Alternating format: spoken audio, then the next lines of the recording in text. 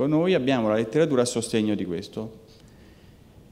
E dietro non c'era letteratura, ma c'era appunto, come spesso succede, no, una difesa del ruolo. Perché vedete, io non voglio trattare argomenti politici, però eh, lo dico da, ripeto, da ricercatore. Nel momento in cui si avvia uno studio, la cosa che bisogna fare è razionale, ok? Cioè capire perché è necessaria fare questa cosa. Allora, perché è necessario modificare le organizzazioni? Perché è necessario? Perché è cambiato il bisogno. Essendo cambiato il bisogno, le organizzazioni devono necessariamente modificarsi, perché altrimenti passiamo al paradosso, dove è l'offerta che va a governare la domanda. È come il, mercato della moda. Ok? Il mercato della moda funziona così. Non funziona secondo i bisogni della popolazione, ma funziona sull'induzione del bisogno. Allora, se questo la moda se lo può permettere, perché è tutto a scopo di lucro la moda, un sistema sanitario pubblico, o comunque un sistema sanitario, questo non se lo può permettere. Ok? Quindi, tornando a noi, le scelte eh, diciamo, fatte eh, risiedono su un sostegno scientifico che è rispondente a, ad un bisogno. Quindi rispetto a tutto quello che è stato detto, molto bene prima dal professor Croce, noi ci troviamo in una dimensione che dal punto di vista eh, scientifico viene definita transizione epidemiologica. E cioè noi ci troviamo di fronte, a, come avete visto, circa il 75% della spesa è basata sulla cronicità. Okay? E quindi questa è la famosa spirale di, di, di Scardi. Eh, questo è il problema. Questa è la domanda e quindi quello che è stato fatto nel mio policlinico è ragionare su come poteva essere la risposta in modo che questa fosse appropriata e uso il termine appropriata da un punto di vista economico, eh? ok? E che, nel senso che se spendo una risorsa quella è giusta per quella scelta. Quindi abbiamo ragionato da un punto di vista sia strutturale che funzionale, partendo dall'accoglienza e quindi da un punto di vista strutturale abbiamo identificato quello che ci serviva come strumenti e poi come funzioni da affiancare a questi strumenti. E così anche nella gestione, da un punto di vista strutturale, come riorganizzare l'ospedale. Ma poi, tenuto conto della spirale, anche se noi riusciamo a fare un buon prodotto, creare le condizioni con il territorio per una continuità assistenziale, cioè per facilitare la dimissione del paziente in una rete di sostegno, cioè laddove il paziente sia in grado di non dover rientrare in ospedale. Su uno studio fatto da un mio amico e collega dell'Agenzia di Sanità Pubblica della Regione Lazio, un geriatra, unico studio fatto eh, nel 2005, lui aveva eh, evidenziato come gli ultra 65 anni hanno un reingresso ad una settimana dalla dimissione pari a quasi il 7% e questi erano dati del 2004. A 30 giorni questo dato arrivava a sfiorare il 17%. Allora, e qui faccio un'altra piccola parentesi politica, io ho realizzato in ISO risorse delle riorganizzazioni in policlinico, ho esternalizzato, ho recuperato delle risorse che ho trasformato in OSS ed ho ridotto i costi di produzione che mi hanno pagato l'esternalizzazione delle pulizie. Ok? Quindi non, sono, non ho portato costi sorgenti, o meglio, costi sorgenti e costi cessanti erano in equilibrio. Bene, io qui, mi spiace che sia uscito Valerio, Saverio, Ma io dico che la professione infermieristica, se non si fa cogliere ancora dal nanismo professionale, ma anche le altre professioni, siamo in grado di accettare la sfida che qualsiasi ministro o presidente di regione ci voglia consegnare nelle mani. Noi siamo in grado di poter riorganizzare in ISO risorse una rete di sostegno per i pazienti attraverso la riduzione del ricovero ripetuto in ospedale. È sufficiente andare a recuperare quelle risorse per poter aumentare un cordone sanitario all'interno delle regioni. Siamo pronti. C'è qui la nostra collega che è eh, direttore di distretto e io la invito a sostenere questa dimensione perché io so che siamo in grado di poterlo fare. Guardate che una laurea diversa da quella infermeristica o tecnica o fisioterapista, voglio dire, non dà il senso dell'intelligenza. Io quando con Saverio Proia sedevo al tavolo del, dello Stato-Regioni, perché il Ministro mi ci aveva messo, beh, di persone intelligenti, voglio dire, non è che ne abbiamo trovate tantissime, ma parlo di intelligenza, non è che erano stupidi, però non coglievano, non coglievano, non coglievano l'esigenza, signori, e la sostenibilità del sistema. Siamo qua per la sostenibilità del sistema. Non è che siamo qui perché difendiamo una posizione professionale.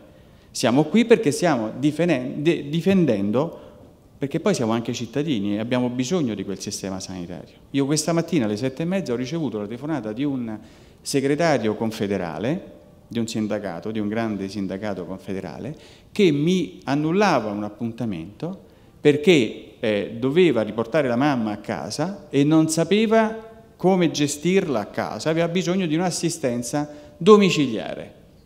E quindi mi annullava un appuntamento per questo, non aveva bisogno del clinico.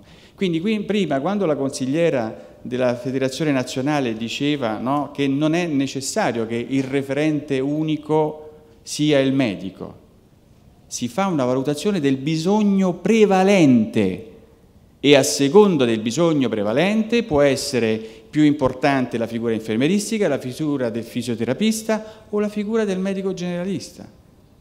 Ma si fa, ci sono gli strumenti, eh? si chiama valutazione multidimensionale e in funzione di questa si assegna la responsabilità della leadership.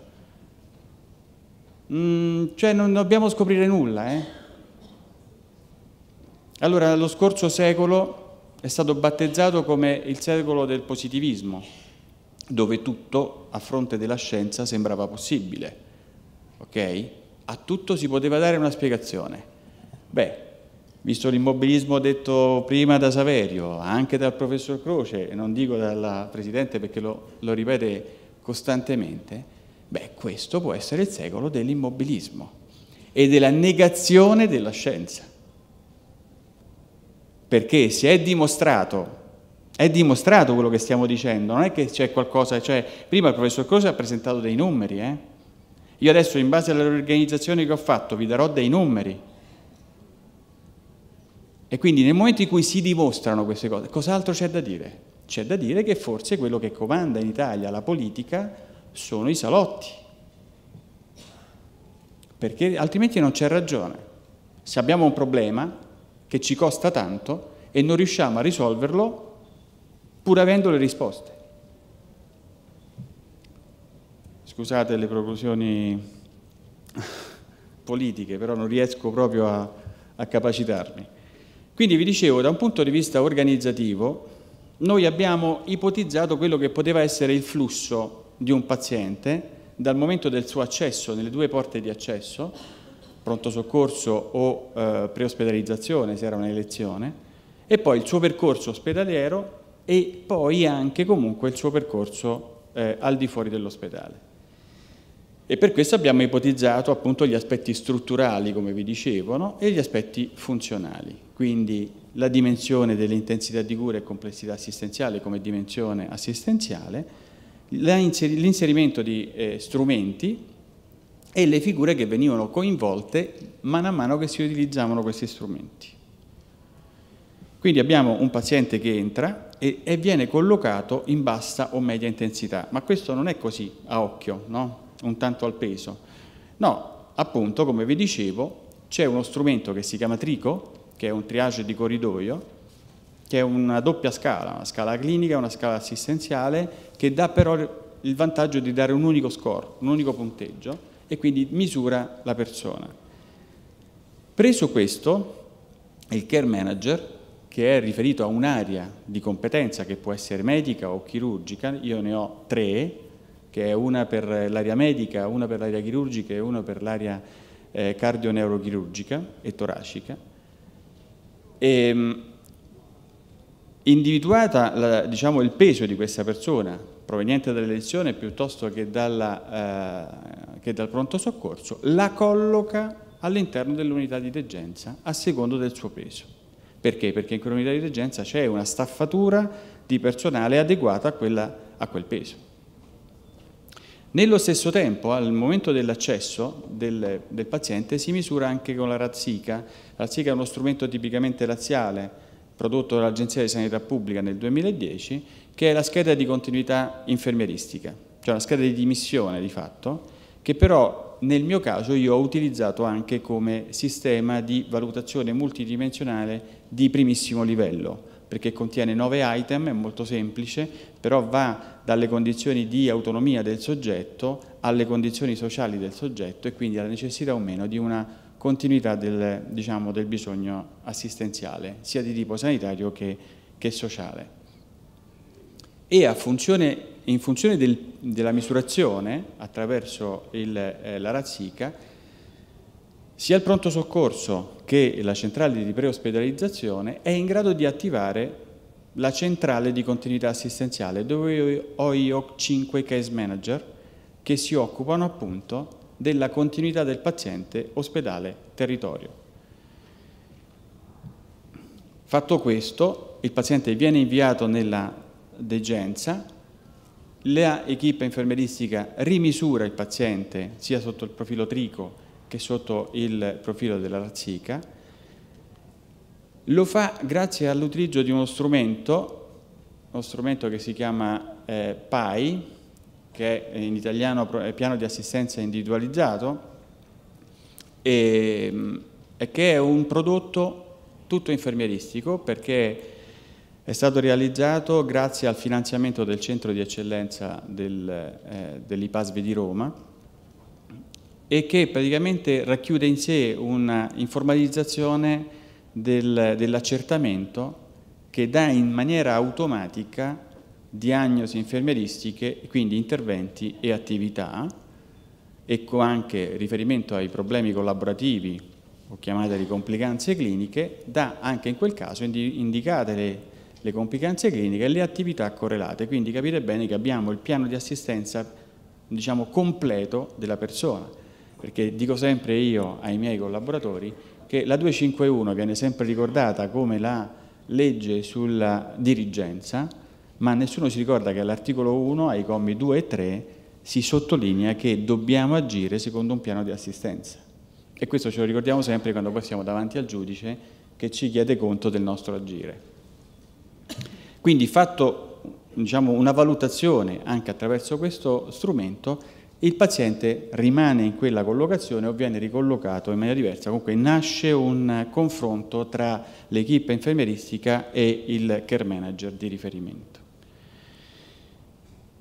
Il paziente poi viene rivalutato dall'equipe infermieristica nella sua dimissione e qualora non abbia avuto un peggioramento o quant'altro, viene riattivato il case manager che è quello che prende contatti, contatti con il territorio per la sua continuazione. Nel frattempo della sua permanenza noi abbiamo inserito anche le consulenze infermieristiche. Noi abbiamo quattro consulenti, tipologia di consulenza anzi per meglio dire, perché i consulenti sono molti di più, in ISO risorse, cioè non sono persone esclusivamente dedicate alle consulenze, perché non me lo, potevo, non me lo posso permettere ancora, e quindi sono persone che ehm, diciamo, hanno, sono state collocate in diciamo, in posizioni nel quale possono dare un 30% della loro attività alla realtà operativa e un 70% alle consulenze. Questo è quello che sono riuscito a fare fino ad oggi. Spero di poter arrivare al punto che è dimostrabile da un punto di vista di conto economico che eh, l'acquisizione di una risorsa corrisponde a altrettanto risparmio. E noi li abbiamo inseriti per i PIC, per le ferite difficili, per le stomie e anche per i drenaggi toracici, ma come vedrete ha una dimensione molto, molto ristretta. Diciamo che è stata più un'opportunità che un'esigenza quella.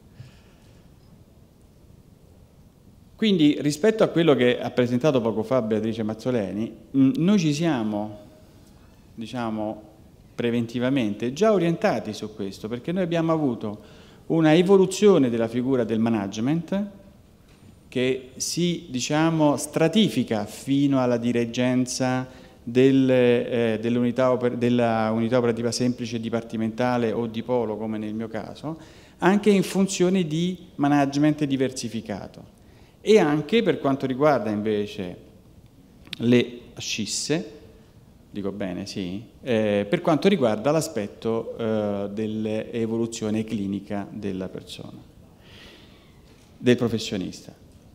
Ovviamente tutto questo, signori, in un policlinico universitario privato è stato possibile perché? Perché io ho registrato costantemente, ogni inserimento viene registrato, misurato, perché poi chiedono conto del, dell'utilizzo delle risorse. E quindi per quanto riguarda l'intensità e complessità assistenziale, noi avevamo fatto preventivamente una, uh, un'analisi per tre mesi prima dell'avvio, avevamo valutato uh, circa tre mesi prima il totalità dei, dei, pazienti e abbiamo constatato che il rapporto in una macro degenza di 54 posti letto erano 28 per i pazienti in eh, media intensità e 26 posti letto per la bassa intensità. Ecco, questa è diciamo, la valutazione eh, del, dal primo gennaio. Come vedete siamo nella media e nella mediana, quindi significa da un punto di vista statistico che il valore è solido, ok? Le code intervengono, diciamo, non, non, influenzano il dato e quindi è certo che siamo intorno ai 27 pazienti, però stiamo constatando un incremento dei pazienti medi perché ehm, scusate, questa è bassa, una, una, riduzione dei pazienti bassi perché fino all'anno precedente i pazienti in bassa intensità erano molti di più, erano circa 3 di più. Ovviamente viceversa per quanto riguarda i pazienti in media, dove abbiamo avuto invece un incremento dei pazienti medi eh, rispetto a quello che era l'anno 2014 e questo ci deve far riflettere. Perché? Perché io devo fare anche una previsione per il budget 2016 e quindi dover prevedere magari dei incrementi di personale in funzione delle necessità e quindi eh, se, se, inizio ad avere più pazienti eh, pesanti, è ovvio che laddove io ho inserito degli OTA, eh, degli OSS, scusate, eh, dovrò necessariamente inserire degli infermieri. Quindi gioco forza dovrò fare un, un bilancio di previsione in funzione di questo. Per quanto riguarda le consulenze infermieristiche, questo è il, diciamo, il panorama mh, dal 2013 che sono state attivate ad oggi quindi come vedete un cospicuo numero di consulenze e come vedete la stragrande è per i PIC che è, vengono messi in maniera autonoma uh, dai miei infermieri e solo nel caso in cui ci si trova di fronte a una situazione eh, difficile che magari richiede invece l'inserzione chirurgica del, del catetere, eh, a quel punto si switcha sul chirurgo altrimenti è una competenza squisitamente infermieristica, così come anche per le stomie e per ehm, le eh, ferite difficili. Queste poi sono state monitorate in funzione della risposta, perché? perché ho dovuto chiedere poi un certo numero di ore ad incremento delle attività perché non riuscivo più a garantire almeno al 70% della, delle richieste un intervento entro le 48 ore, stando in regime di isorisorse, ovviamente. Infine eh, la razzica, eh, cioè la scheda di continuità infermieristica, come vedete questa è inserita in tutte le unità di degenza per adulti, abbiamo una eh, diciamo, sua compilazione pari al 90% sia in ingresso che in uscita, e, um, il 10% che vedete diciamo, di, di, scarto più o meno è relativo ovviamente ai decessi, ma anche a quelle dimensioni io ho molti solventi, ho dei, circa 4 reparti solventi e quindi ovviamente diciamo, nel quantitativo totale dei, diciamo, dei ricoveri diciamo, incidono su, più o meno su questa percentuale. E questa è la capacità di intercetto dei bisogni di continuità assistenziale. E come vedete, ehm, su un totale di dimessi di 42.000 pazienti dall'inizio dell'anno fino ad ottobre, ben 14.500 pazienti sono ultra 65 anni, quindi una percentuale intorno al 33,5%. E i pazienti potenziali fragili che io mi dovevo attendere, secondo quello che è l'indagine di prevalenza, che è l'8 barra il 10 erano da 1163 a 1455. Bene, io ho eh, diciamo, intercettato, cioè anzi non io, eh, i miei collaboratori della centrale hanno intercettato ben 1462 pazienti, dove però soltanto 1121 sono ultra 65 anni.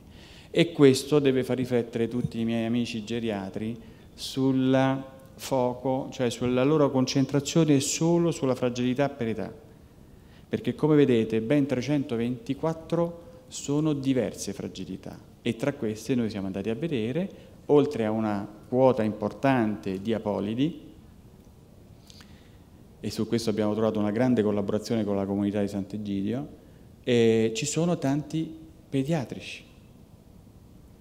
Quindi rivedere anche tutto il concetto di continuità assistenziale e di fragilità ad essa correlata, non solo sull'aspetto dell'età.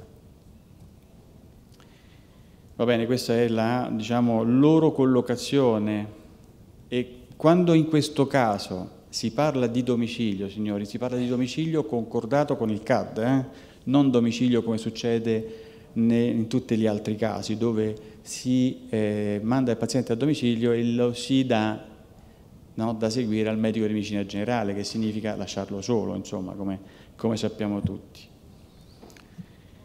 Io ho finito la mia relazione e ehm, questa era la frase che io misi all'inizio quando ho prospettato il, eh, diciamo, il disegno di riorganizzazione all'interno del Policlinico Gemelli. E questa è una bellissima frase di Einstein che dice comunque vada sarà un disastro, insomma. No? Grazie.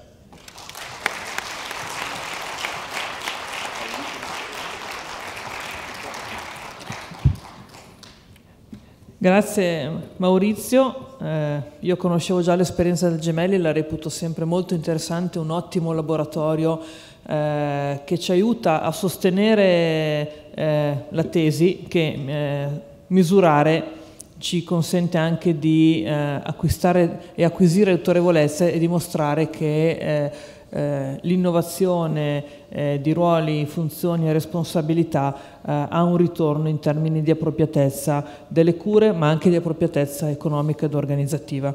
Questo credo sia anche uno dei temi principali perché, eh, come dire, la tendenza che, che, è un po' diffusa, che è quella di bloccare sul nascere attraverso ricorsi al taro, attraverso dire, eh, vie giuridiche, eh, sperimentazioni di nuovi modelli e di nuove situazioni, eh, insitamente credo abbia un pochino anche l'obiettivo di evitare di far partire l'organizzazione o la riorganizzazione o la sperimentazione perché nel momento in cui poi si va a misurare e la misurazione ci dice uno che funziona, due che è migliorata la continuità assistenziale, la compliance del paziente e l'appropriatezza organizzativa e assistenziale, tre che i pazienti non stanno peggio, perché qualcuno ha anche detto che dove non c'è il medico l'assistenza è pericolosa. Ecco, io credo che alla fine, dire, uno degli obiettivi nascosti sia quello di bloccare tutto prima affinché non si arrivi a misurare. Questo credo che Palmiro, che adesso segue, ci potrà dare evidenza di questo, eh, di questo aspetto. Dobbiamo, essere, eh, do dobbiamo eh, rafforzarci nella convinzione sostenuta dai dati che quello che stiamo andando a proporre ha le gambe non solo per camminare ma può, può, produrre dei risultati. E dobbiamo arrivare a produrre risultati, dobbiamo arrivare a dichiarare a misurare gli esiti e gli outcome perché solo dando la dimostrazione del fatto che quello che abbiamo pensato, progettato, che vogliamo per i nostri pazienti, per il nostro sistema funzioni alla fine aiuterà anche a superare alcune barriere alcuni scogli perché poi i dati parlano da soli e, da, e i dati dimostrano che il sistema funziona funziona che il sistema regge. Il tentativo però è quello di bloccarci ancora prima, quindi proprio non arrivare a farci misurare, perché come dire, eh, già Galileo diceva che un fenomeno lo, lo, conosci quando lo misuri, quindi noi abbiamo ancora, insomma, mi ricordo anni fa, una, un direttore che diceva no ma noi non abbiamo le infezioni ospedaliere, sì ma le stai misurando? No, eh beh, certo non le misuri, non le trovi, cioè voglio dire, mi sembra, ecco, eh, non, così come le cadute dei pazienti, no ma da noi ci sono poche cadute dei pazienti, ma le misurate? No. Quindi la misura, eh, misurare e far vedere i risultati della misurazione, far vedere eh, gli esiti, far vedere gli outcome. Questi per gli aspetti organizzativi, ma penso anche al messaggio che ha lanciato il collega Zega anche rispetto agli esiti e agli outcome infermieristici. Ci sono degli esiti e degli outcome infermieristici, eh, soprattutto per alcune, quelli che si chiamano nursing sensitive outcome, quindi quegli esiti sensibili alle cure infermieristiche, cioè quegli esiti che sono influenzati dalla modalità di approccio dell'assistenza infermieristica. Ecco, questo è un altro aspetto su cui dobbiamo iniziare a confrontarci in maniera strutturata perché è un altro aspetto che ci aiuterà a giustificare la necessità di certe scelte, di certi standard, di certi tipi di approccio. Quindi l'invito è veramente a eh, ragionare sì sui progetti, sulle riorganizzazioni, ma anche a portare i dati. Tant'è vero che noi ai nostri quattro relatori abbiamo chiesto soprattutto di farci vedere eh, e di dare alla platea l'idea di che cosa ha portato, non solo come obiettivi, perché noi siamo sempre molto bravi a progettare finalità, obiettivi, metodologia, risultati attesi, indicatori, tutto. Poi dopo spesso abbiamo poco di ritorno in termini proprio di esiti e di outcome misurati. Eh, quindi questo ci deve aiutare anche a eh, metodologicamente approcciarci all'innovazione organizzativa e alle tematiche della, legate alla sostenibilità del sistema sanitario nazionale proprio con, con la misurazione. In questo senso chiedo eh, a Palmiro Riganelli di venire a presentarci l'esperienza della unità operativa di agenza infermieristica che è partita all'azienda ospedaliera Misericordia, no? come si chiama? Ecco, Misericordia. Eh, ho chiesto proprio a Palmiro quando ci siamo sentiti di farci vedere i dati dei primi, dei primi mesi di sperimentazione. Grazie Palmiro. Grazie. Buongiorno a tutti, grazie al Presidente, grazie agli organizzatori di questo evento perché sicuramente ci dà la possibilità di un confronto che tutti noi siamo convinti sia la miglior strategia per poter crescere e per poter portare a casa soluzioni diverse da poter poi offrire alle persone che assistiamo eh, quotidianamente. Eh, io un ringraziamento lo devo veramente di cuore anche al direttore generale dell'azienda ospedaliera di Perugia, al dottor Walter Orlandi, che ha creduto in questo progetto e che è stato come dire, un pioniere di questa eh, iniziativa, ma devo ringraziare anche la collega Gabriella Carnio, che è la responsabile del Dipartimento delle Professioni Sanitarie